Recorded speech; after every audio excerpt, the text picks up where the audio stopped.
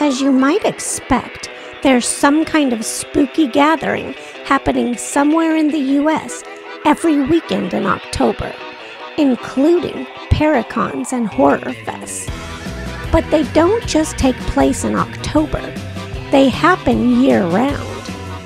Winter months, December through February, tend to be slower, with only one or two events the whole month. On the other hand, some weekends during the summer months overflow with events. Some states tend to host more paracons than others, and some cons are based on real life paranormal events. That and more is what we'll explore in this video. Let's start with cons that celebrate real life paranormal and UFO events. Whether an alien spacecraft really crashed in Roswell, New Mexico in 1947 or not is still hotly debated to this day. But millions believe it did, and every July, thousands flock to Roswell to partake in the UFO festival that celebrates the Roswell incident. While Roswell considers itself the UFO capital of the world, Pine Bush, New York calls itself the UFO capital of the East Coast. They hold their Pine Bush UFO Fair and Parade every year in June in honor of the many UFO sightings people have reported there since the early 1960s. But as far as UFO cons go, the McMenamins UFO Fest in Oregon is second in popularity only to Roswell. It commemorates the Trent sighting in 1950. In September, two cities memorialized the sudden, mysterious, and to this day unexplained appearances of winged creatures that spooked their residents.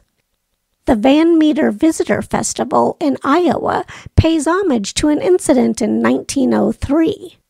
The Mothman Festival does the same for the sightings that were reported in Point Pleasant, West Virginia in 1966 and 1967. And let's not forget about Bigfoot. The Fouke Monster Festival in Arkansas celebrates a 1971 report of an attack that inspired the 1972 horror movie, The Legend of Boggy Creek. Some states host more paracons than others. Alaska rarely has any paracons scheduled. Hawaii hasn't hosted one since 2019.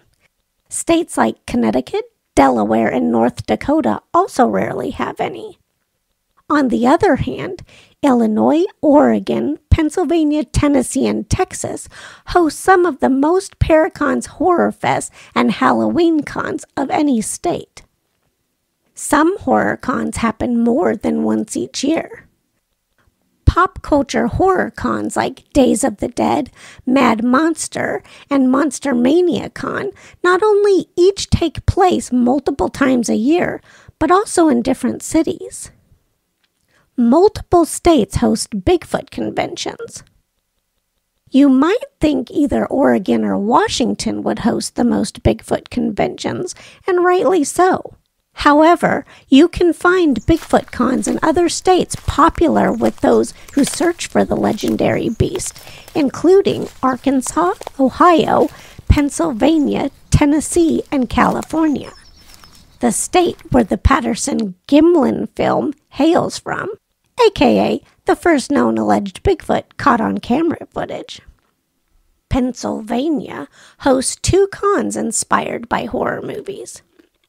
The Living Dead Weekend in Monroeville is a must attend horror con for zombie lovers, especially for those who first fell in love with the horror subgenre thanks to George A. Romero's films.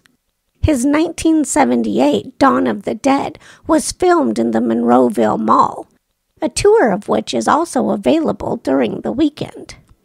Across the state near Philadelphia, fans of another iconic horror movie can attend Blobfest weekend in Phoenixville.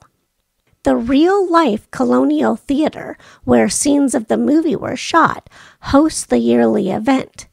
In fact, one of the fun events is the Runout, where they reenact the famous scene from the movie.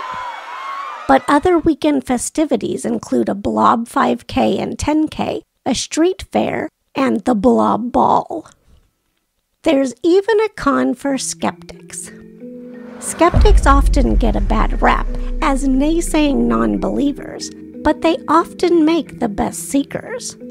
Where most people jump to conclusions with limited facts, skeptics dive deeper in a quest to understand what's really going on. Skeptical folks who investigate paranormal phenomena need fellowship too. That's where CSI Con comes in. CSI stands for the Committee for Skeptical Inquiry. In addition to hosting an annual convention, CSI also publishes the Skeptical Inquirer. Have you ever been to a Paracon or Horror Fest before? Or maybe there's one or two you attend regularly? If so, let us know in the comments. If you've enjoyed this exploration, likes are always appreciated. Thanks for watching. Until our paths cross again, ciao for now. Unless you want to keep watching. In that case, here's a suggestion for you.